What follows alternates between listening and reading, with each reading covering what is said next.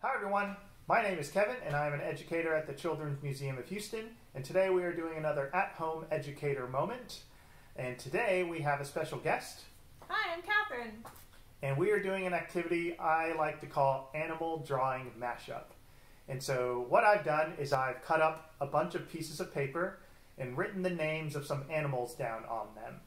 And then what I've done after that is I've folded them, cut them up, and then we're going to put them in a bowl and then draw them at random. We're going to draw two each, and then our goal is to draw those two animals uh, and what they would look like combined. So you may get a cow and a monkey, and then you are tasked with drawing what that would look like. So I think it's just a kind of a little fun, silly activity, and it can lead to quite a bit of creativity. All right, so we're going to go ahead and get started, and we'll let Catherine draw first. She'll draw, I'll draw, and then we'll do it again. So what was your first one? So my first one is a pig. And I got a dog. Okay. So now we'll see what her second one is. I got a horse. I got an elephant. Okay, so I'm going to be drawing a dog and a horse together, and I'm not really sure how that's going to turn out. And I'm going to be drawing an elephant and a pig together. Okay, so we're going to get started.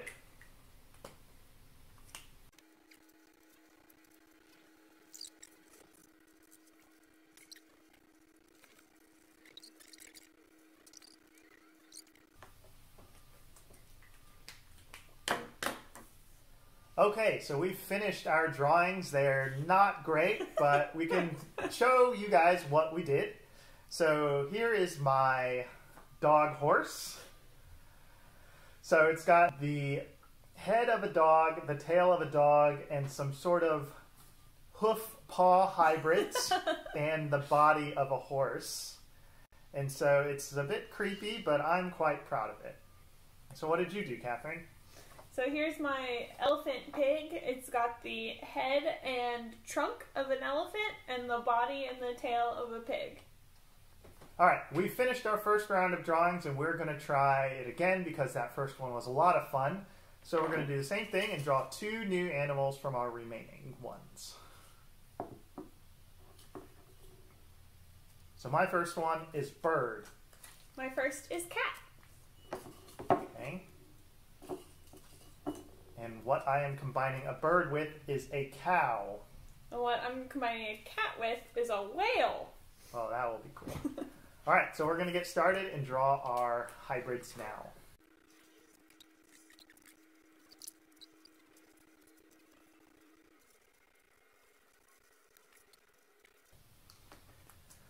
Okay, we've finished our second round of drawings. Here's my cowbird. Um, it's a happy little guy. He's got the body and face of a cow, but the hind legs of a bird and the wings of a bird, and the tail of a cow as well. Looks and what did really you come good. up with? This is my whale cat. It's got the face and ears of a cat on the body of a whale. Perfect. Looks really, really cool. So yeah, that was our uh, animal drawing mashup activity. You can try this at home and you can uh, change it up if you want to. You can use colored pencils, markers. You can do things other than animals. You can draw three or four if you want, if you want a challenge.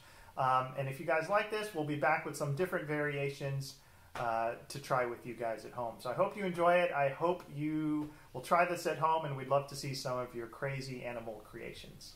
Once again, my name is Kevin. I'm Catherine. And this has been another at home educator moment from the Children's Museum of Houston.